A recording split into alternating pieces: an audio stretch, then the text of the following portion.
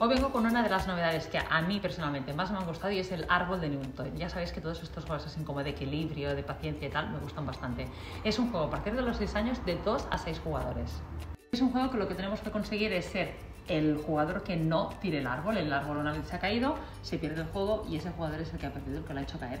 ¿Cómo funciona el juego? Tendríamos por un lado las manzanas, por otro lado tenemos Newton, las, los troncos del árbol, las ramas del árbol, que con estos agujeritos es donde iremos poniendo las manzanas, tenemos las tarjetas con acciones, que las acciones son estas, tenemos las de color amarillo, naranja y azul, que a veces pone una manzana, dos manzanas, tres manzanas, y las tendríamos que poner en las ramas del árbol donde está el color azul, en este caso en las amarillas, o si nos saliera la naranja, en las ramas donde esté el puntito naranja. Luego tendríamos esta tarjeta que nos dice que añadamos una rama y un tronco, subimos o bajamos a Newton, depende de lo que nos ponga, o arrancamos una, dos, tres manzanas, ¿vale? Lo que nos pone. ¿Cómo funciona el juego? Repartimos tres tarjetas por jugador, ¿vale? En este caso yo he repartido, por ejemplo, y en nuestro turno lo que hacemos es coger una de las acciones, si cuando me toca mi turno no puede hacer alguna de las acciones, puedo coger una carta, bajarla, descartarla y volver a coger una.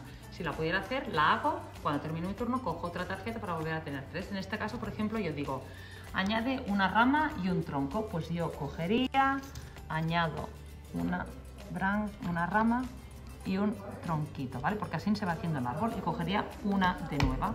Viene este jugador de aquí, ay, no se me cogen, y por ejemplo, juego y digo, añade una manzana, pues cojo una manzanita, la cojo, la pongo en algún sitio azul donde yo quiera, en este caso la pondré aquí, ha hecho, la ha salido bien, coge otra tarjeta y sigue. Esto va a ver, arranca, añade dos manzanas, venga, que me va la marcha.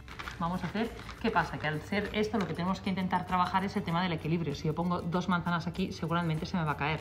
Lo más lógico es que, lo, aparte de que, por cierto, ¿eh? solo se puede hacer con una mano.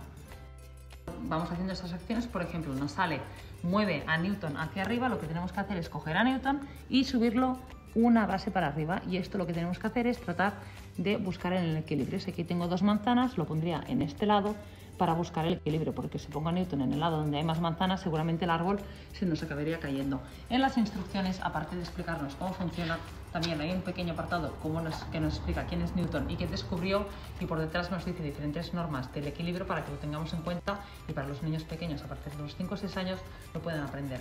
Pues nada, espero que os guste tanto como a mí y cualquier duda ya sabéis, aquí estoy para, que, para poderos ayudar.